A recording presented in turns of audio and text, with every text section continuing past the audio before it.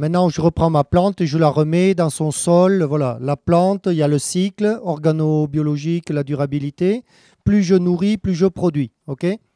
Alors, première étape, la plante est mature. J'ai une jachère. Tout de suite, au bout de trois mois, j'ai de la paille, de mauvaises herbes, de kénopodes au sol. Premier job, la plante, elle couvre le sol, elle met de la paille. Donc la paille va être attaquée dans une première phase. Donc là, le stagiaire, j'ai un stagiaire au boulot, il ouvre les bouquins et en fait, ce sont des bactéries qui attaquent la paille avant que ça ne rentre dans le sol. Et donc ces bactéries vont faire une réaction chimique avec l'azote de l'air et ramener le N2 en NH4 dans leur corps pour hydrolyser le carbone de la paille. Ça, c'est le premier métabolisme qui se passe sur le sol, là, juste à cette phase-là. D'accord? Donc, il y a des bactéries qui attaquent la paille, qui récupèrent par réaction chimique le N2 de l'air. Ça fait de l'ammonium, NH4+, d'accord? Et donc, la bactérie, en fait, elle fait ça pour attaquer le carbone pour en faire ses sucres, son métabolisme. Donc, ça fait une bouillie du végétal. Et cette bouillie de végétal, donc il y a tout un tas d'êtres vivants qui vont commencer à la euh, consommer, des protozoaires, des bactéries, etc. Y compris les vers de terre qui viennent sucer cette bouillie. C'est pour ça que quand vous avez des vers de terre, ils, tirent la paille un petit peu dans le sol, parce que justement, dans ce contact-là, sol, machin, où il y a beaucoup d'air, il sait qu'il a ces bactéries à sucer après derrière.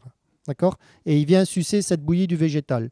Il n'a pas de dents, le pauvre, donc il, en plus, il ingère la terre parce que ben, ça lui fait le tractus dans le tube digestif. Et donc, il va mélanger de façon intime cette bouillie carbonée enrichie en azote avec les bactéries et la terre. Et donc, dans son tube digestif, vous allez créer le fameux complexe argilo-humique avec une CEC e déterminée selon la quantité de carbone ingéré et la nature des argiles présentes. Et du coup, le ver de terre, il fait un excrément. D'accord? Alors on a deux grandes familles qui digèrent la litière après l'attaque par des champignons, des bactéries. C'est les vers de terre et les champignons. D'accord? Et donc ces deux grandes familles-là, elles vont faire un excrément particulier qu'on appelle l'humus, la matière organique du sol, appelez-le comme vous voulez. Hein. et dans l'humus, il y a deux choses. Tout ce que font les champignons, c'est stable pour le long cours. Hein. Et tout ce qui vient des vers de terre, globalement, c'est de le rapidement minéralisable. D'accord? Donc vous avez deux métabolismes de l'humus ou de la matière organique, un en stock pour longtemps, au cas où, et un rapidement métabolisable. D'accord? Dans les trois mois, dans le mois qui suit, parfois si c'est des résidus de légumineuses, euh, mais dans l'année sûrement, voire deux années maxi. Hein. Et donc votre sol, il doit avoir toujours les deux, le stock stable au cas où et le stock rapide. Et donc, vous avez ce fameux excrément qui arrive, qui est de la matière organique. D'accord? Celle du sol. Et donc, ça tombe bien. Ça sert à quoi la matière organique? Un excrément. Quelles sont les facultés extraordinaires, les, propriétés physiques extraordinaires des excréments? Oui, ça colle. Hein? Et donc, ça va servir à structurer et à stabiliser votre maison. En fait, les êtres vivants, ils se servent de leur excrément pour tapisser les murs de plâtre. Nous, c'est du plâtre, eux, c'est leur merde. Et en fait, ça va climatiser, d'accord? Ça va isoler, ça va faire le confort de ces êtres vivants, etc. D'accord? Qu'ils vont, ben, euh, en fait, c'est consommable. Hein. donc, en permanence, ils, tapissent, ils crépissent, hein, et ils entretiennent leur maison. Et en fait, qui est-ce qui va consommer les excréments dans le sol? Non Les bactéries, comme dans ta fosse septique hein, ou dans ton compost. Hein. Et en fait, donc les bactéries, elles attaquent l'excrément, donc elles vont le manger à leur tour. Et quand elles vont le manger, en fait, on dit que ça minéralise. D'accord? Donc, c'est les bactéries qui vont finir, qui vont libérer les éléments chimiques que la racine reprend. En gros, j'ai de la paille et j'ai de la chimie plus vous mangez, plus vous produisez, à condition que vous avez tout le cortège de la biodiversité des êtres vivants. Et quand je suis trop spécialisé d'un côté, que du bois ou que de la cellulose, eh bien, ça fonctionnera peut-être pas très bien. Ou il faut que je m'adapte à un fonctionnement que bois ou que cellulose. D'accord? Donc euh, là, après, ben, c'est les spécificités des systèmes qu'il faut visiter. Et donc, ça tourne comme ça, tranquillement. Quand j'ai un produit comme du fumier, je dois le réfléchir comme quoi réellement C'est une nourriture de bactéries, donc qui sert typiquement là de fertilisant, tout simplement. Et ce fertilisant, il aura la faculté de minéraliser plus ou moins vite selon la nature de mon produit. Donc un fumier pourrait aller assez vite, d'accord? Mais c'est principalement la case bactéries qu'on va alimenter. Un lisier, ben, on n'en parle même pas, tellement ça va aller vite, d'accord? Un excrément humain très soluble, pareil, très rapide. Et euh, maintenant, on va prendre un compost. C'est quoi le compost? Ben voilà, tout dépend de la nature, de comment il a été fabriqué, mais en fait, vous allez le mettre exactement à la case excrément, parce que quand je l'ai transformé, ce produit végétal, etc., il est prédigéré, d'accord? Et en fait, c'est, on va directement alimenter la case bactérie qui va l'utiliser plus ou moins vite, selon la nature d'origine de ce produit, d'accord? Les composts de déchets verts, ils, ont un assez élevé. Oui. Alors, c'est quoi un compost de déchets verts réellement? Voilà. J'ai pris de la matière organique une tonne, je l'ai cuite, d'accord? Elle a chauffé, elle est digérée dans le tas par des bactéries et des machins qui travaillent à chaud. Donc je l'ai stérilisée, cuite. Donc j'ai fait du charbon végétal réellement, d'accord? Quand j'ai fait ça, j'ai quand même envoyé 0,8 tonnes de CO2 dans l'air, équivalent. Donc j'ai perdu du CO2, j'ai perdu quoi réellement quand je fais du compost? Voilà, etc. je produis du, CH4, donc j'ai une action d'accord, de pollution énorme, surtout chez les industriels où ça chauffe. D'accord? Voilà, sauf que ça fait des GES énormes. Et qu'est-ce que j'ai perdu dans cette action-là? Ben oui, j'ai perdu la nourriture ici là, des premiers individus qui m'auraient fait super humus avec. D'accord? Ben, Les champignons. Hein? et donc, euh, les vers de terre, ils vont prendre en charge la cellulose, les feuilles, les, écorces, etc. Et les champignons, la lignine euh, stable du produit. Ce qui fait qu'en fait, en compostant, j'ai supprimé la nutrition qui me permet de rentrer l'azote dans le sol. Et pire que tout, ce que j'amène, c'est un produit qui est du charbon. Je vais aller manger, là, euh, j'espère qu'on a des super côtes de bœuf. Hein? Et puis, comme je suis un mangeur de. J'adore le compost, je prends le couteau, je jette la viande au chien parce que c'est dégueulasse, c'est bien connu, et je ronge l'os pendant très longtemps, ce qui fait que je ne vais pas être très productif. Parce que pour minéraliser ce truc charbonné, ben, je vous garantis que les bactéries, il faut qu'elles bossent. Quoi. Hein. D'accord? Donc, inefficacité quasi totale des composts. Alors, euh, on schématise, hein, pour vous faire peur. On en fera toujours un peu pour tout un tas de raisons. Mais ce n'est pas un produit globalement intéressant vu la chaîne de pertes que j'ai tout au long de la production. D'accord? Eh bien, les fumiers, là, j'ai aucun souci.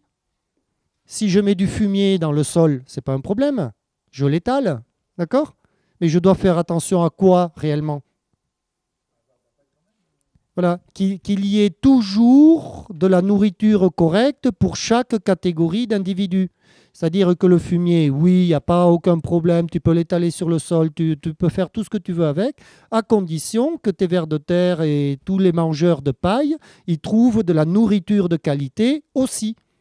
Il faut qu'ils aient les deux parce qu'après la pluie va faire son œuvre, une partie de la paille va être lavée, euh, les bactéries vont prendre en charge les excréments, et il restera encore, dans le cas de ton fumier pailleux, assez à manger. ils pourront continuer à prendre en charge le reste.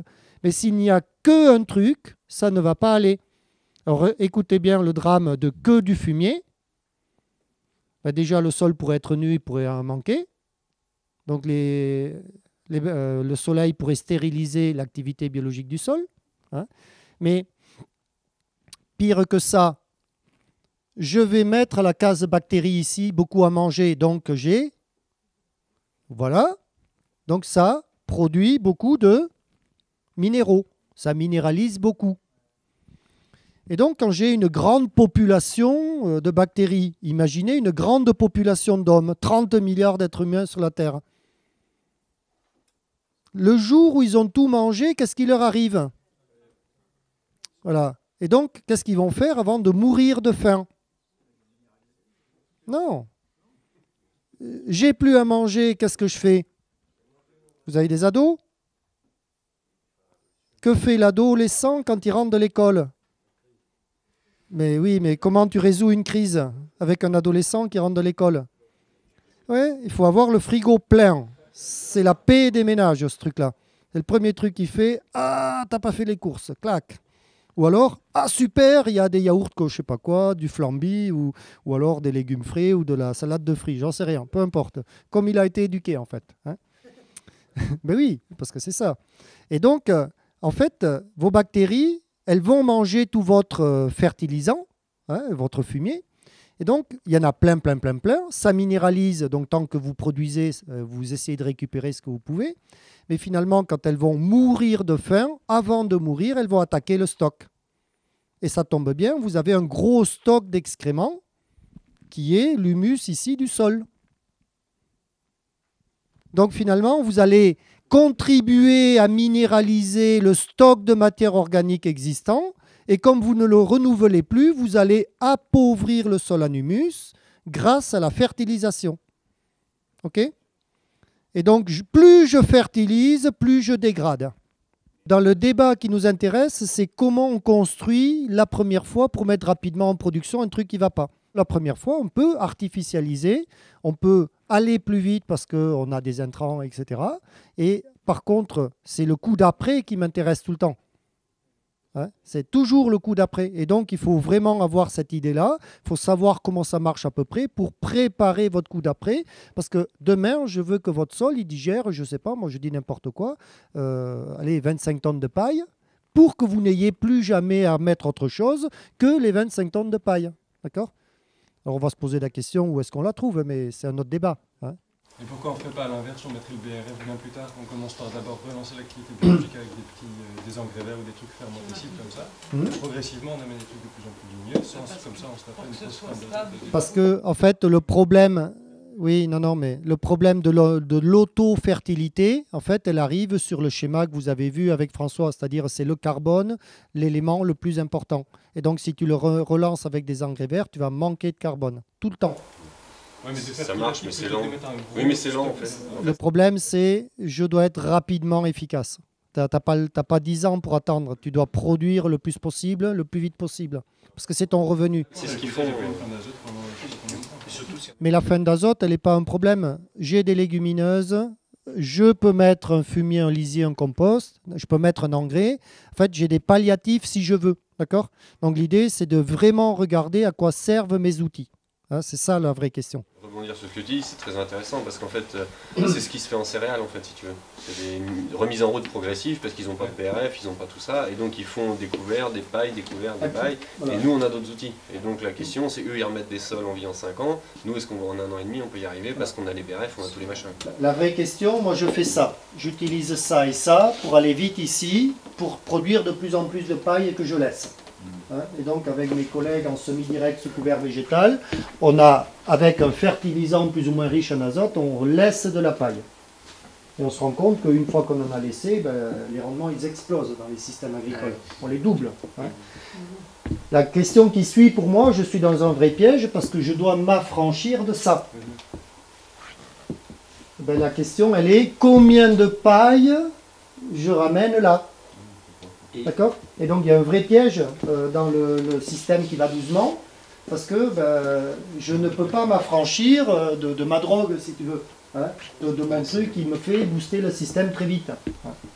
Mais euh, après, les dispositifs agroforestiers, quand ils s'intègrent dans les grandes cultures, euh, ça peut peut-être faire effet de remplacer. Oui, parce que je ramène je ne sais pas combien de paille, mmh. avec les feuilles mortes notamment, et renouvellement racinaire éventuellement. Donc en fait, il y a une vraie réflexion sur votre rapidité de mise à disposition de la nutrition carbonée. C'est ça l'élément clé de construction de vos systèmes de prod.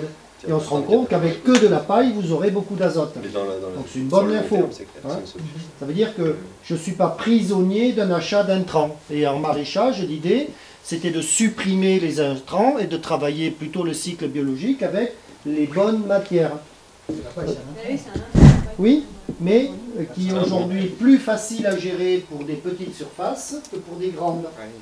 Et donc la question c'est, on fait un bilan de masse, est-ce que c'est moins cher d'acheter je ne sais pas combien de tonnes d'engrais ou de compost ou de la paille, réellement? Parce que je sais qu'une fois que la machine est en route, ça pourrait être très performant. Ben, donc la, la question c'est quel intrant? Mm. Et en fait, la plante, elle a un atout, c'est qu'elle pourrait être son principal intrant. C'est-à-dire que vous n'avez pas que le légume. En fait, on a le couvert végétal, etc., etc. On peut affecter une mission productive supplémentaire qui est autoproduite dans le système. C'est-à-dire j'ai 6 mois ou j'ai 5 mois d'une plante qui produit de la paille, assolée dans une rotation du coup. Hein, Vous voyez?